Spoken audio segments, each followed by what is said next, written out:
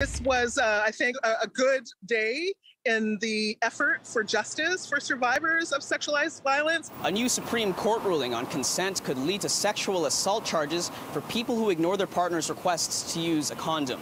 In a 5 4 decision on Friday, the top court ruled that ignoring someone's request to use a condom makes intercourse non consensual and a complainant's autonomy and equal sexual agency have been violated. Lise Gotell has researched sexual assault for years and says the court's decision brings clarity to the law where it didn't exist before and affirms people's sexual autonomy. The court has made it very, very clear that when you're consenting to sex with a condom, you are not consenting to sex without a condom. The decision stems from a BC case where the complainant told a new sex partner named Ross Mackenzie Kirkpatrick that she would only have sex with him if he used a condom. Kirkpatrick used a condom the first time they had sex, but during the second time, he didn't, which he only realized afterwards.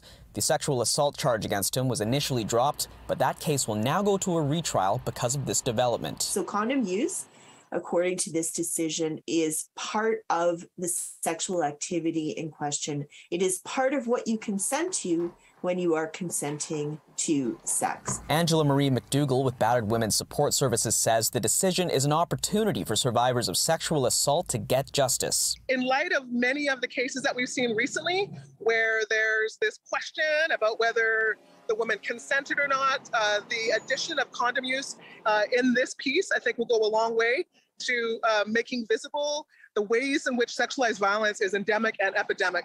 The judge in Friday's decision relied on a previous case in 2014 where a man poked holes in condoms to get his girlfriend pregnant. Well, it tells us just how much sexualized violence happens within an intimate partner relationship. The outcome of that case didn't extend consent to condom tampering and has been criticized for making the laws around consent unclear for years. Gotell says this new ruling will have a ripple effect as courts see Canada as a leader in sexual assault law. Lawmakers and judges are looking to our law um, all the time because we have really been ahead in terms of forging a, an affirmative consent standard.